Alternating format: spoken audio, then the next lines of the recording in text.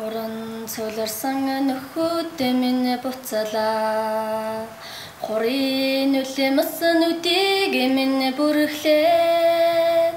Хун хундан дастагийн адилаар хүн хүндэн дастаг юм байж дээ.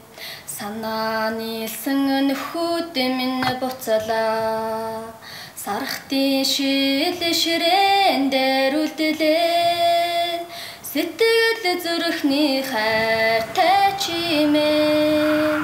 Симхэн тэднийг даган одлоо. Үсэлэний сэн нөхөд минь буцалаа. Хөр баяраар тэдэнтэй одлоо. Хаяа хаяа гүн санаалдаа. Шиг ганцаар хоцорлоо.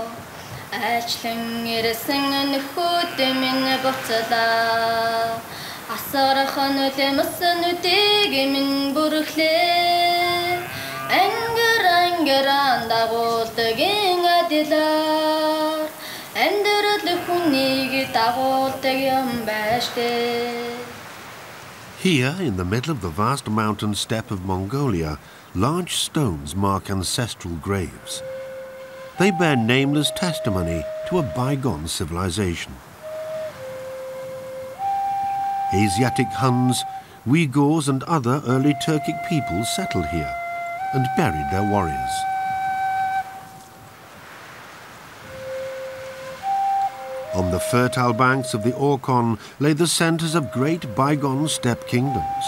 And at the heart of this land of nomads stood a legendary city, which briefly was the most powerful in the world.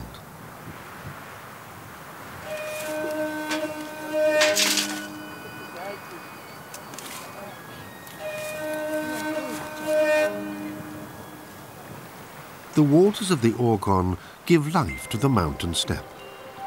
Shrouded in legend, the sacred river meanders some 1,000 kilometers through the heart of Mongolia before flowing into Lake Baikal.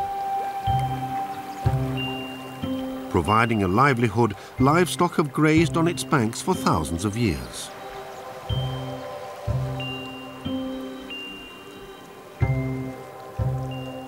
Living here means adapting to nature, to vast distances and a wilderness without paths, to winters as cold as 50 below, to biting winds and dust-filled summers. The Orkhon Valley, the heartland of the people of the steppe.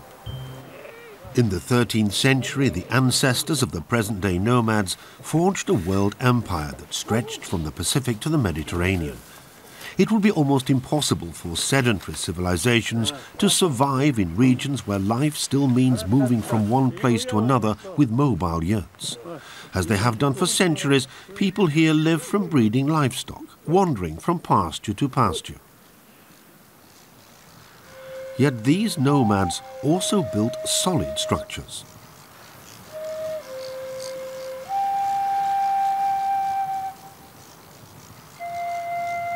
As early as the 8th century, 12-metre-high walls made of unfired clay bricks protected a city which is believed to have had more than 10,000 inhabitants. Kara Balgasun, the capital of the Uyghurs. Visible from afar, the fortress signaled wealth and power. Kara Karabalgasun was an early trading center on the Silk Route. But we know little of the architecture of the steppe kingdoms, who left structures you would not expect of nomadic peoples.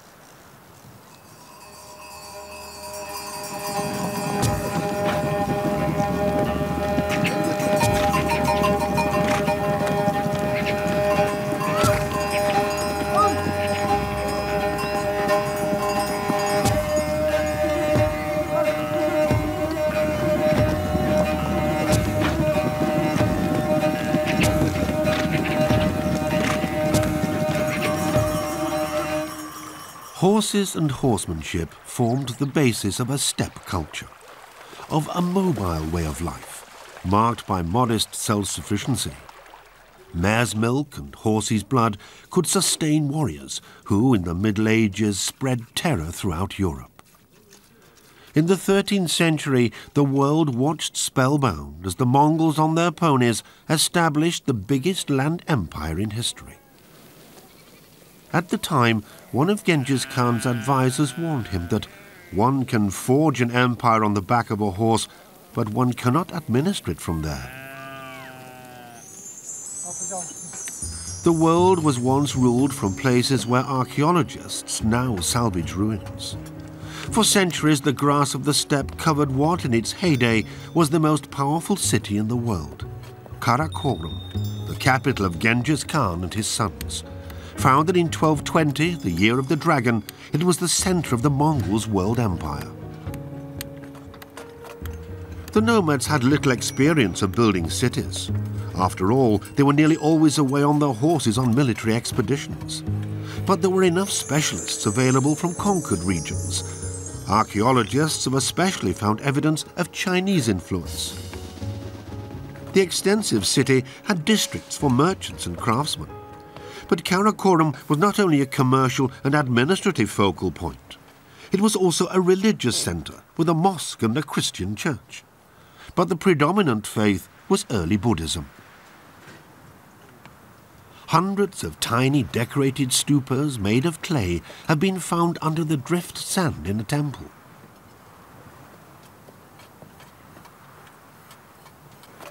More than 10,000 people, it's believed, lived in Karakorum all year round. Excavation work has shown that the city of the nomads had a spacious layout. A stone turtle a symbol of eternity and a long life. It bore an inscription referring to the palatial city. But it is still a mystery where the palace of the Mongolian great Khans actually stood, and what happened to the incredible riches which the mounted hordes seized on their lengthy military expeditions.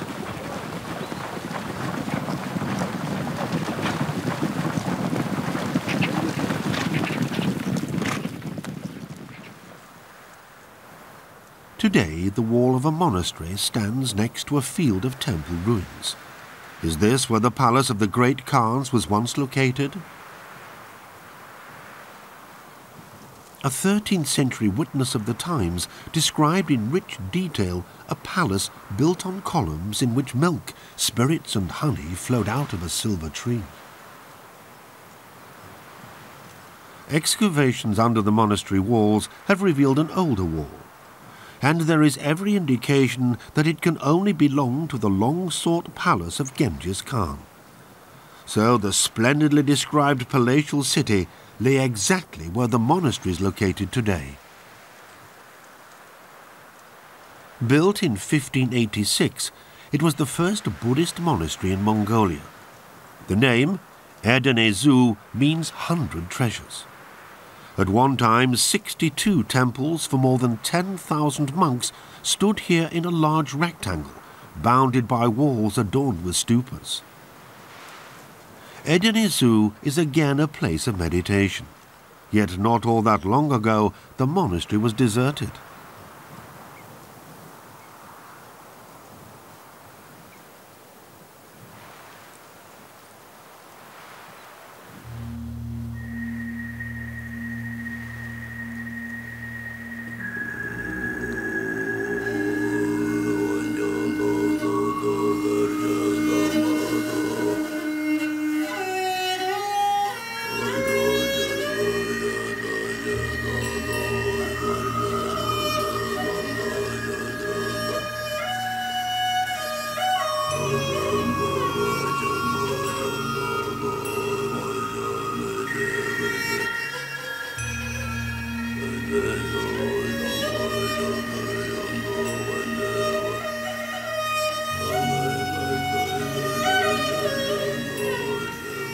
With its three stories and wooden decoration, the central monastery temple in the Orkhon Valley was based on Tibetan models. Relations with Tibet go back many centuries. The title of Dalai Lama was first offered by a Mongolian prince in the 16th century. Since then, most Mongolians have been adherents of the yellow hat Buddhism of the Tibetan school. Monasteries and Lama monks shaped religious and social life in Mongolia for hundreds of years. They took the place of schools, universities and hospitals, and every family sent at least one son to be educated in a monastery.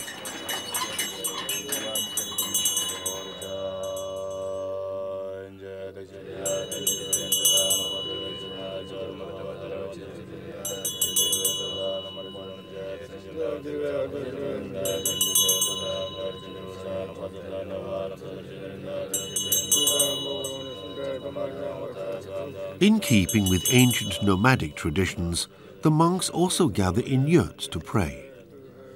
Through the repetition of mantras and words of praise, and through meditation and rhythm, they focus their minds for two hours each day in order to detach themselves from worldly existence.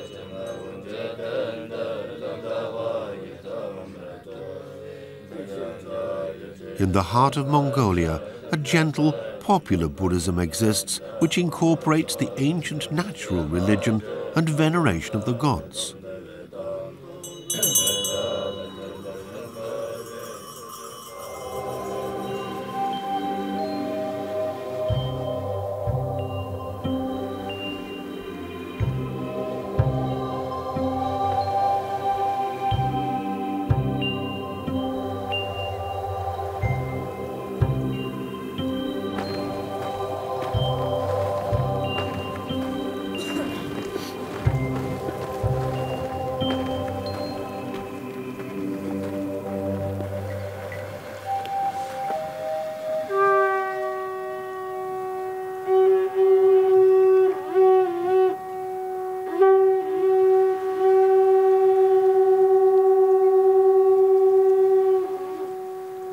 It's not all that long since monks were again allowed to blow a conch shell in honor of the Buddha. For more than 50 years, religion was banned in Mongolia. In the period of Soviet domination, nearly all the monasteries were destroyed, including the most beautiful of all, Erdene-Zuu. Today, once again, young monks can be seen. But most of the ritual objects and precious holy books in Sanskrit have been lost. People were not even allowed to say the word Buddha. Monks were murdered, imprisoned, or forced into the army.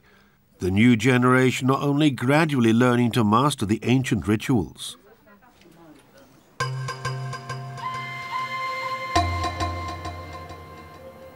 Since the collapse of the Soviet Empire and the true independence this brought to Mongolia, religion has again found its place in society. Buddhism is experiencing a renaissance. Monastery buildings are being renovated all over the country. In keeping with ancient traditions, the faithful again walk round the hundred stupas on the walls of Erdene-Zuu. Carrying books from the monastery library, they symbolically retread the Buddha's path of suffering. In doing so, they also hope that their wishes will be fulfilled. For present-day Mongolians, Erdene-Zuu is a holy place, but also a place of national identity. Today, the great-great-grandchildren in the city of Genghis Khan lead modest lives. The great empires of the past have little impact on them. Their enemies are unemployment and boredom. But such foes are easily defeated.